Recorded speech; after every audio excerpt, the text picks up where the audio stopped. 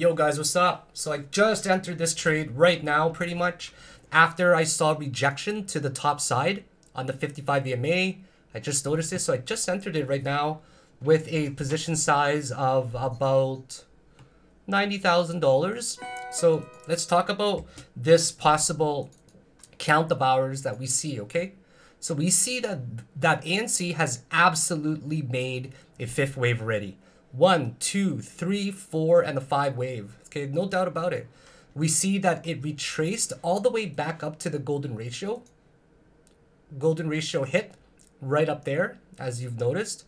And as it hit it, it just completely rejected. So now it's forming some sort of descending type of triangle that I'm trying to capitalize on. I think it's going to be a great opportunity for a nice trade when it broke below this 55 EMA. I saw it reject here. I think it's going to close right near the low here. I'm going for a close of 209.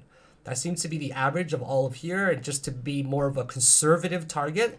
Of course, it can break below. So let's go over ANC here and talk about, first of all, how Bitcoin, okay, Bitcoin ended up dropping around this this time. It dropped around around 415. So if you take a look at ANC yesterday, actually, what time was that at? Yeah, around 415. If you take a look at ANC, it dropped around the same time here as well, right? 415, it took a major drop of 10%. But the thing about ANC is it was only on the third wave. So we see five waves counted here. This is the first, A, B, C to make the second. And the third wave was really cleared too right here, okay? We saw the one, two, three, four, five. And the four came down, okay? But because Bitcoin ended up dropping heavily to the downside, right? We all thought that ANC was going to come back down as well. But ANC ended up going to the going to excuse me, I'm going to here, retrace down there. I think it retraced around the golden ratio. Yeah, golden ratio and it popped to the upside hard, okay? So because it popped to the upside there, okay? Uh, we're getting a small retracement up now, down $200. It's probably going to go up a little bit higher. I really don't want it to make another touch up there. That'd be very annoying if it did actually. Like up there to 217 ranges. I don't want that for sure. Because I'm in a big position. So now you see that it bounced back up. It broke above the high of the third wave. And it actually started a fifth wave. Because it started a fifth wave there, despite BTC just smashing downwards and stalling, ANC finishes five waves, and that's how I was able to capitalize a lot on this today. I was I caught the top today. I literally caught the top. I literally closed it at around 209 there. Perfect profit. Then it bounced. That's how I made that $3,000 this morning. And then a few more $600 trades here and there. And this is now the third trade that I'm taking. So we see it hit the golden ratio at the top, right? And then it falls down. And it looks like it's forming some sort of descending triangle now where there's a high probability of it smashing to the downside. If we take the overall Fibonacci retracement of the entire thing, what we're seeing is that it only retraced to the 236 Fibonacci region so far. Because of that, we can assume that it's most likely going to catch up to a lot of these other coins that have dropped already. So if it does drop, it's going to catch up to, for example, Waves, to ZIL. All of these coins ended up just reaching catastrophe after doing the five wave. Catastrophe right? Look at ZIL, catastrophe. KNC, catastrophe, right? Just drops to off of the face of the planet here. So we're seeing a lot of coins right now fall extremely hard. And because of this, what you can expect from ANC as well is probably after a gigantic rally of 44%, it's probably going to fall down as well, just a matter of time. I like to minimize my risk in the market and I like to trade small bounces. These small bounces of mine, it allows me to profit on small waves and minimizes my risk and exposure in the market. Guys, I have an awesome sale going on right now just for today. That's it. I'm going to do it till midnight Central Standard Time. So there's still time to get this. This is a package for for people that are still getting into the market and wanting something very affordable. What you're going to get with this sale is 57% off. It's normally 875 you're gonna pay 375 by crypto or credit card. It's up to you. You're gonna get six months of trading with me in the Discord group. It's not a signals group, but I definitely call out my positions. I educate the group, and the goal is to gain knowledge so you can become a self-sufficient trader. And you're gonna get six months in the group with me. You're gonna get my second edition book that's gonna be mailed out to you at the end of uh, near near near May or so. That's where it's going to be mailed out to you, and the book is gorgeous.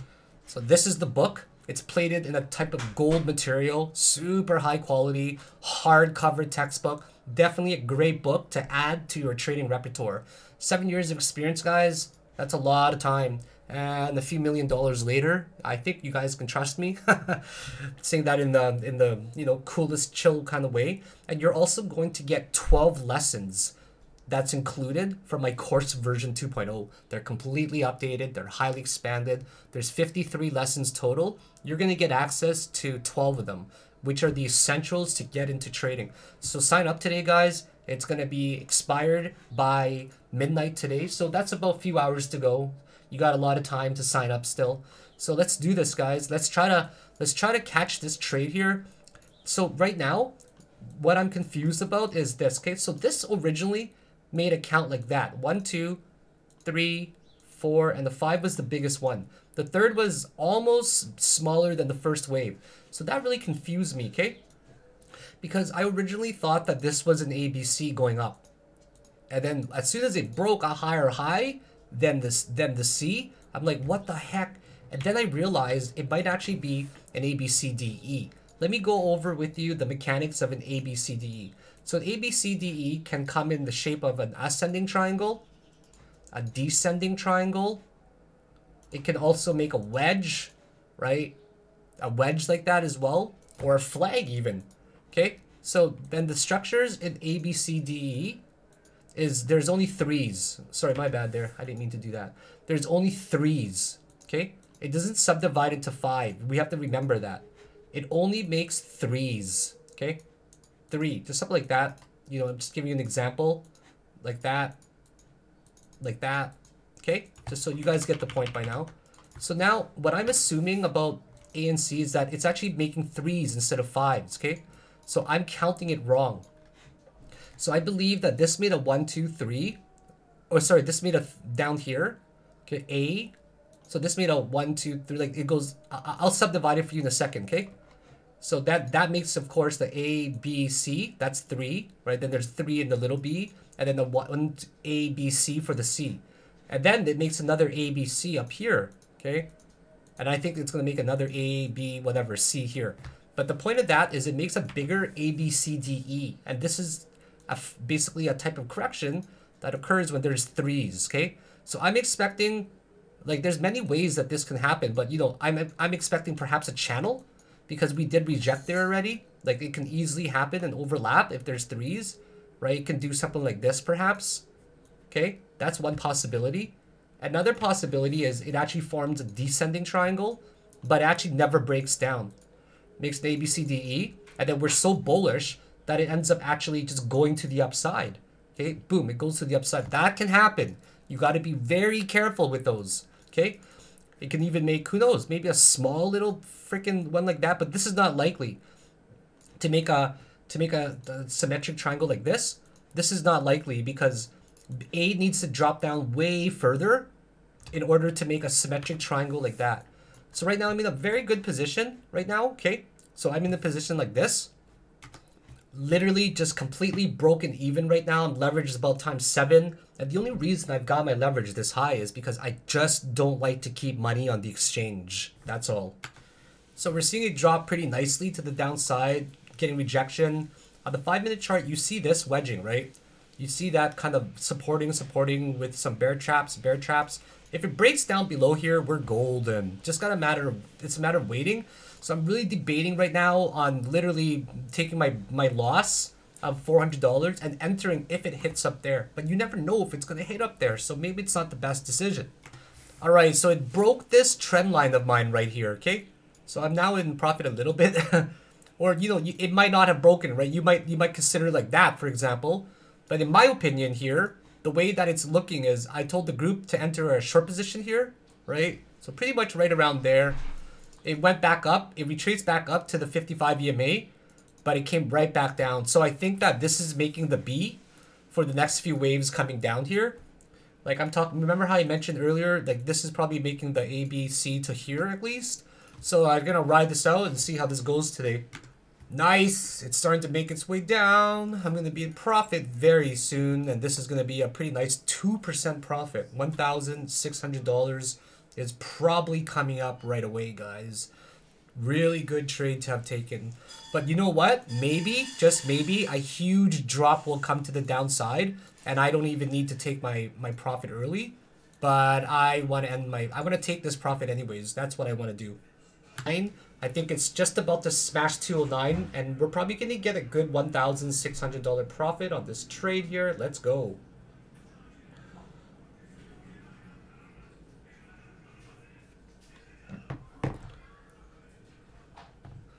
We're starting to see it really smash to the downside. It's going to hit it for sure. Just a few seconds coming up. Definitely going to hit it here.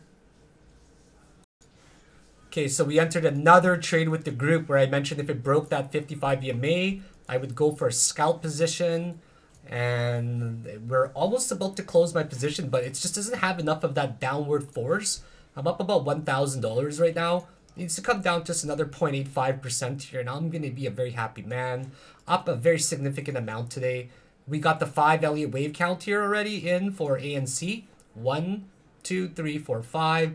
Looks like it just wants to smash to the downside here.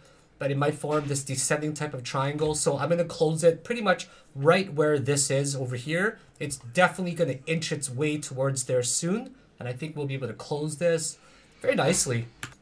Lots of pressure now moving to the downside. I see this momentum just huge right now. I'm taking my profit probably a little bit prematurely in my opinion. But you know what? I want to guarantee these profits, especially if I'm up already a good one uh, three thousand six hundred dollars. This is gonna bring me up to five thousand dollars profit here today, and it's just a matter of being patient, very patient it's gonna close. I know it's gonna close. Just gotta chill and just gotta wait. And it's just how the how this game works. If you close early, you're gonna end up uh, sacrificing a lot of profits, so you can't really do that.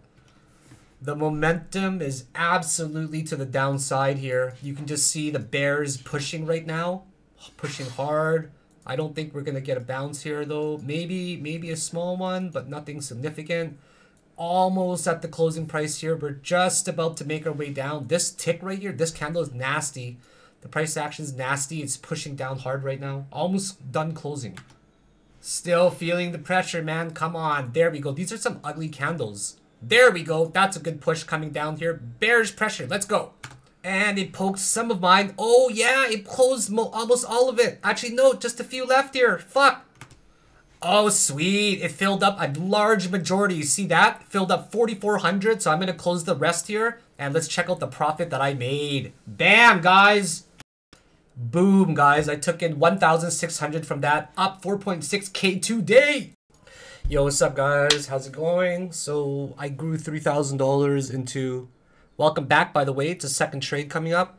So I grew $3,000 to $17,000 in three days literally $14,000 profit from a $3,000 account.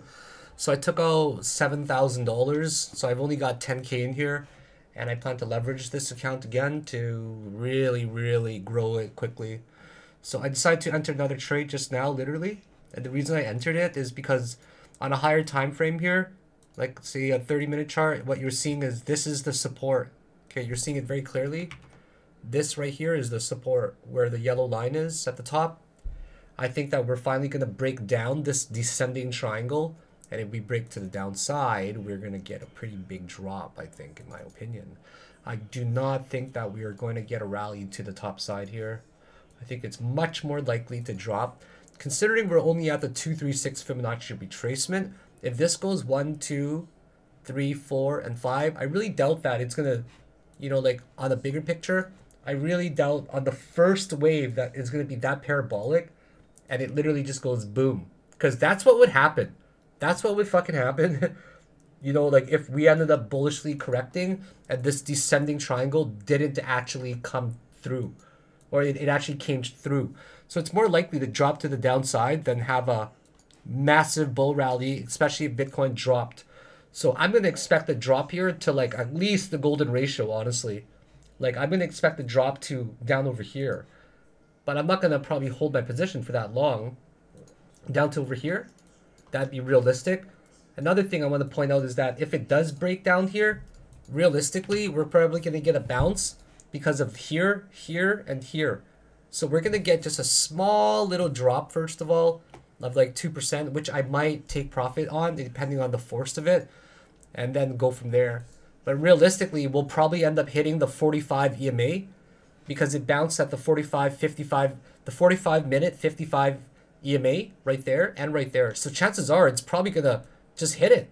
So I might take my profit around 203, 205, where like 203, probably 202, wherever the 55 EMA meets it. So this is gonna be another profitable trade in my opinion.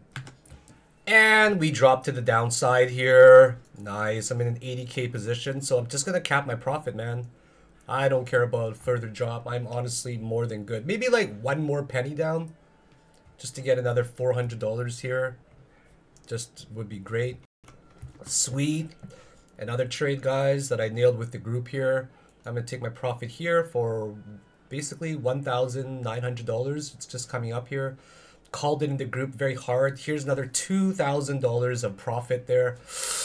Oh my god, that was so nice, man. I called this in the group so hard. Again, I'm up $6,500 trading KNC today, or ANC today. what a great trade, guys. What a great trade. It's pretty much just look at it. There's not much else to say, right? There's a descending triangle and it broke down. So, of course, I'm going to scalp it. Fuck yeah, boo.